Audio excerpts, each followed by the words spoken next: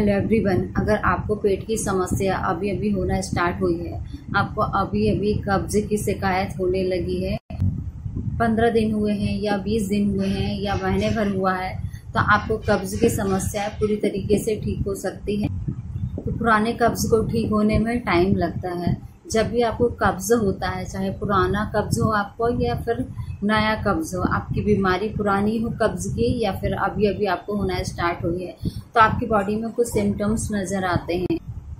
पेट बहुत ज़्यादा फूलता है, पेट में बहुत ज़्यादा दर्द होता है, गैस बहुत ज़्यादा बनती है पेशेंट कुछ भी खाता है या पीता है तो खाना सही से नहीं पचता है। कई बार लूज मोशन होने लगते हैं, खाना सही से ना पचने के कारण।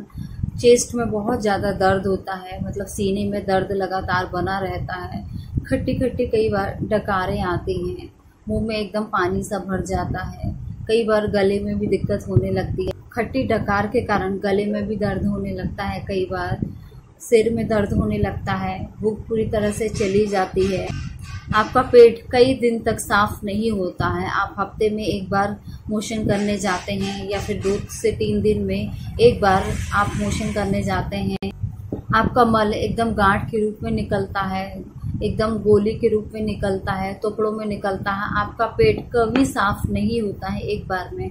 आपको दिन में कम से कम तीन से चार बार जाना पड़ता है, दिन में आप तीन से चार बार भी जाते हैं, उसके बाद भी आपका पेट साफ़ नहीं होता है। आपको ऐसा लगता है कि अभी आपको फिर से जाना है मल त्यागने के लिए और ये आपको हमेशा लगता रहता है। मतलब आपका पेट कभी साफ़ नहीं होता है और धीरे धीरे करके आपकी भूख भी पूरी तरह से जाने लगती है और भूख न लगने के कारण आप दिन पे दिन दुबले होते जाते हैं और आपको पेट की समस्या लगातार बढ़ती जाती है और पेट सही से साफ़ ना होने के कारण आपको बहुत ज़्यादा बेचैनी होती है, बहुत ज़्यादा घबराहट होने लगती है, वीकनेस आने लगती है हाथ पैर में दर्द होने लगता है और सही से पेट ना साफ़ होने के कारण आपको पेट की अन्य दूसरी बीमारियाँ होना स्टार्ट हो जाती हैं। कई बार आपको बाबासीर हो जाता है, या फिर आपको अल्सरेटिव कोलाइटिस हो जाता है, या फिर आपको कोई दूसरी अन्य बीमारी हो जाती है पेट साफ़ ना होने के कारण। तो पेट साफ़ होना बहुत ही ज़रूरी है। पेट सही से साफ़ ना होने का कारण एक ये भी है जंक्स फ़ूड खाते हैं, ऑयली चीज़ बहुत ज़्यादा खाते हैं और विटामिन वाली चीज़ें बहुत ज़्यादा कम खाते हैं।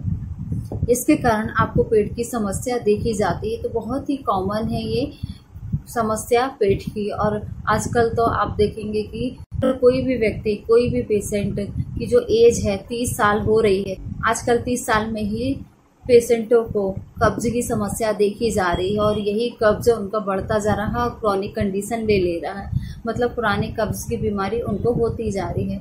आजकल की लाइफ स्टाइल बहुत ज़्यादा चेंज हो गई है, जिसके कारण से पेट की समस्या सबसे ज़्यादा देखी जाती है। तो आज मैं आपको पेट को साफ़ करने के लिए बहुत ही अच्छा होम्योपैथिक एक सिरप बताने वाली हूँ, एक टॉनिक बताने वाली हूँ। साथ में आपको मैं दो मेडिसिन बताने वाली कि आप ये दो मेडिसिन ले सकते हैं। सबसे पहले मैं आपको मेडिसिन के बारे में बता देती हूँ कि कौन सी मेडिसिन आपको लेना है। तो फ़र्स्ट मेडिसिन आपको लेना है कार्बोवेज। बहुत ही इफ़ेक्टिव मेडिसिन है। इस मेडिसिन को आपको दो टाइम बस लेना है। मॉर्निंग में दो ड्रॉप लेना है और नाइट में दो ड्रॉप लेना है और लगातार लेना है गैप बिल्कुल नहीं करना है। नेक्स्ट मेडिसिन आपको लेनी है नक्स वोमिका बहुत ही इफ़ेक्टिव मेडिसिन है। इस मेडिसिन को भी आपको थर्टी पोटेंसी में लेना है और दो टाइम लेना है। मॉर्निंग में दो ड्रॉप लेना है और नाइट में दो ड्रॉप लेना है और लगातार लेना है गैप बिल्कुल नहीं करना है। एंड नेक्स्ट टॉनिक आपको यूज़ करना है तो इस टॉनिक का नाम है डाइजेस्टर, टॉनिक सॉबी कंपनी का है, बहुत ही इफ़ेक्टिव है। ये देखिए, इस टॉनिक को आपको तीन टाइम इस्तेमाल करना है। मॉर्निंग आफ्टरनून नाइट दो दो चम्मच इस्तेमाल करना है। जब भी आप नक्स मॉमी का मेडिसिन लेते हैं या कार्बोवेज मेडिसिन लेते हैं तो पंद्रह पंद्रह मिनट के गैप में आप मेडिसिन को लीजिएगा और टॉनिक को आप ले सकते हैं आधे घंटे के बाद, और आधे घंटे बाद ही आप कुछ खाएगा। मैंने आपको डाइजेस्टर टॉनिक बताई हूँ, ये टॉनिक शुगर फ्री है मतलब जिनको शुगर है तो ऐसे पेशेंट बिल्कुल इस टॉनिक को यूज़ कर सकते हैं। बहुत ही इफ़ेक्टिव है, उनकी शुगर भी नहीं बढ़ेगी और उनको कब्ज़ की समस्या, और उनकी कब्ज़ की समस्या भी ठीक हो जाएगी। ये सिर्फ़ सॉबी कंपनी का है तो आप इसे बिल्कुल इजीली परचेस कर सकते हैं। थोड़ा सा आपको महँगा पड़ेगा, लेकिन रिज़ल्ट बहुत अच्छा है इसका। और आप इसे लगातार इस्तेमाल कर सकते हैं।